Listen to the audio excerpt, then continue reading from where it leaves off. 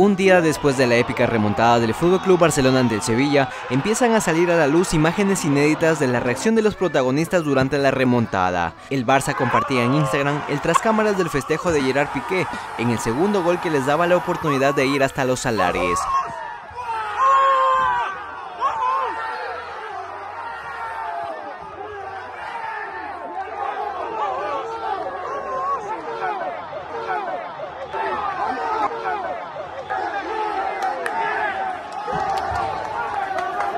Otro eufórico festejo que veíamos ayer fue el de Leo Messi. El argentino mostraba su barcelonismo puro con este brutal festejo que ayer teníamos que ver desde un ángulo lejano. Hoy se desveló a detalle y con cámara personalizada cómo fue el brutal festejo de Leo Messi en el gol de Piqué. Si alguien tenía dudas del barcelonismo de Messi, aquí está su respuesta.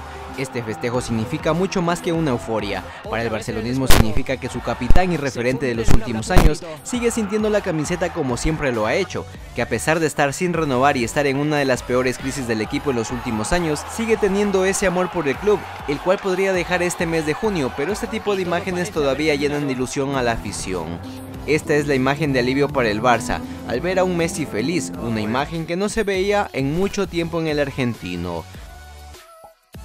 En menos de una semana uno de estos tres tipos deberá gestionar lo que usted y yo conocemos como un marrón, la posible marcha de Leo Messi. Pero este es Leo Messi ayer al acabar los primeros 90 minutos del partido. Un Leo Messi motivado, implicado en el encuentro y con el equipo. Un futbolista que no dudó en recorrer toda la frontal de la defensa sevillista para presionar una salida de balón hasta acabar haciendo falta a su compatriota Marcos Acuña. Un Leo Messi que corrió feliz y sonriente a celebrar el gol de Martin Bradwaite que les metía en la final.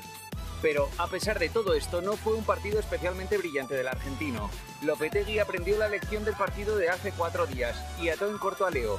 Por eso, anoche Messi perdió una cantidad de balones inusualmente alta. Esta fue la ocasión en los 120 minutos donde más cerca estuvo del gol. Pero precisamente Marcos Acuña lo sacó bajo palos. El resto del tiempo, Leo estuvo muy vigilado por los futbolistas del Sevilla, a veces parándolo con falta, pero siempre bien instruidos por Lopetegui, lejos de la frontal. Una frontal donde una y otra y otra vez, cada ocasión que Leo armaba y soltaba un disparo parecía encontrar un muro de jugadores blanquirrojos. Todo, mientras estos tres tipos observaban lo que ocurría desde ahí arriba. Uno de ellos será el encargado de convencerle para que se quede, aunque, a juzgar por la cara de Leo Messi ayer, ese marrón parece ser un poquito más pequeño. Otra imagen significativa que se ha dado en esta remontada es el abrazo de Piqué con Messi, dos jugadores que lo han ganado todo con el Barcelona, pero que en los últimos años han tenido que aguantar debacle tras debacle en Europa y sufrir sendas derrotas en Liga y Copa.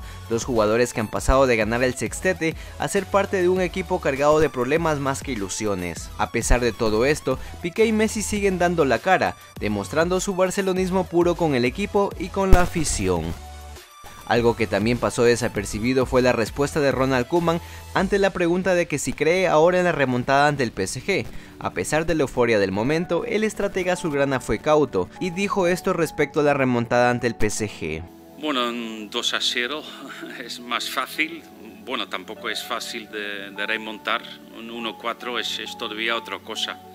Y ellos tienen un gran equipo que tiene grandes jugadores, pero yo creo que como cualquier partido empezamos el partido para ganar y durante el partido vamos a ver si, si hay aún oportunidad de pasar y si no hay que aceptarlo y seguir en el mismo camino. Pero a pesar de la euforia de la clasificación, hay una mala noticia para el Barça. ¿Recuerdan esta imagen del partido?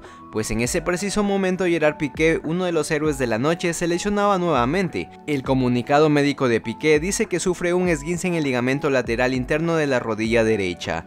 No se da un tiempo de recuperación, pero se estima que puede ser tres semanas como mínimo. Con esta noticia se presenta un serio problema para Kuman. Tiene a Piqué y Araujo lesionados, dos centrales a los que le debe buscar una solución y dar la fórmula para solventar en el 11 del Barça, que sigue la lucha por la liga y debe ir a la vuelta en París ante el Paris Saint Germain.